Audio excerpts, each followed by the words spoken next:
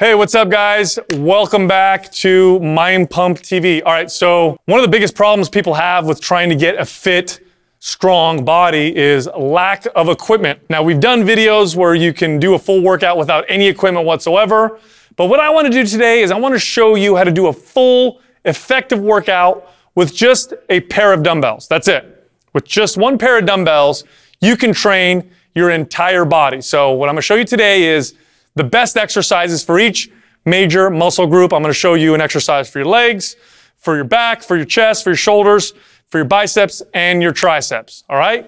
Let's do this. All right, so the first exercise, we're going to work the lower body, the legs. So when you start this workout, we want to start with the biggest muscle groups first, when you have the most energy, the most strength, um, and that is the, the legs. We're going to do walking lunges.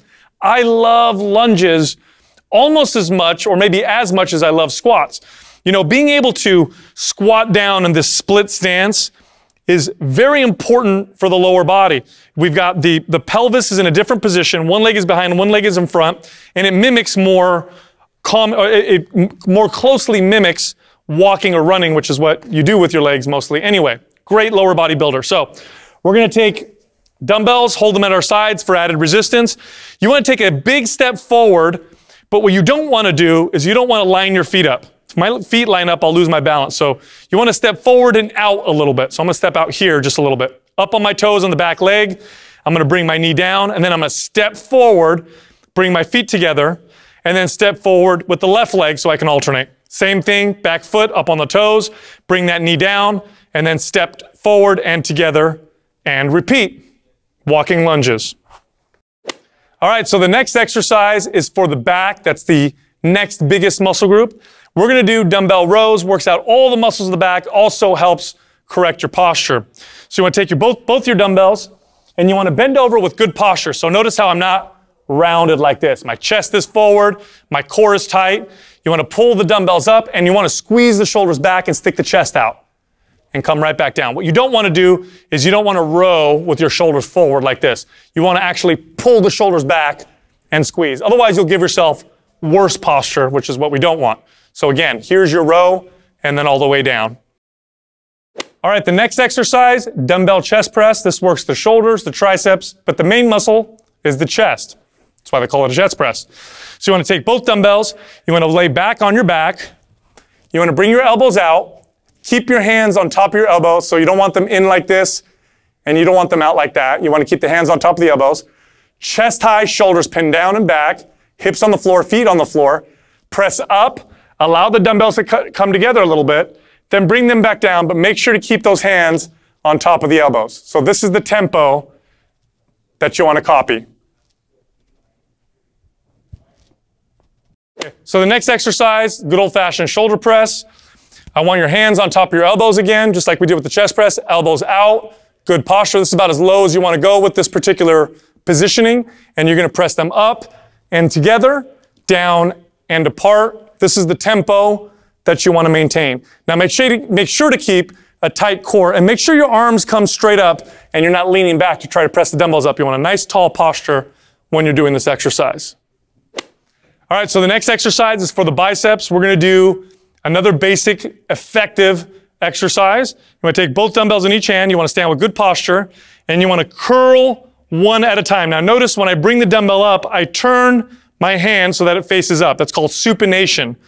You want to alternate the dumbbell. So wait till one goes all the way down before you curl the other one. This is the tempo you want to maintain with this exercise. The final exercise is for the back of the arms, the tricep. With this one, you only need one dumbbell. You want to grab the top of the dumbbell, like so, arms straight up above your head.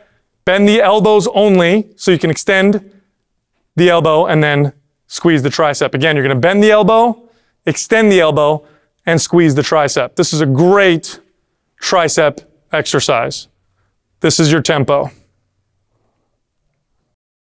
All right, so I just showed you a basic total body workout with just dumbbells. Now, here's how I want you to put that all together. Do the exercises in the order that I taught you, first of all. So you're going to do your lunges, then you're going to do your rows, your chest press, your shoulder presses, then your bicep curls, and your tricep extension. But here's how you're going to do them. I want you to do between 8 to 12 reps uh, for each exercise, and I want you to do three sets before you move to the next exercise. So, in other words, the first exercise is walking lunges. Do your walking lunges. Make sure you get 8 to 12 reps on either leg, so not total, but on either leg, on both legs. Then you're going to rest for about 60 seconds, so about a minute. Catch your breath, let yourself rest a little bit. Now, this is important, by the way. You want to do the rest because we're trying to build muscle and build strength and speed up your metabolism. So you're not trying to go from exercise to exercise. Otherwise, you're just doing cardio with weights, and that's not what we're trying to do here.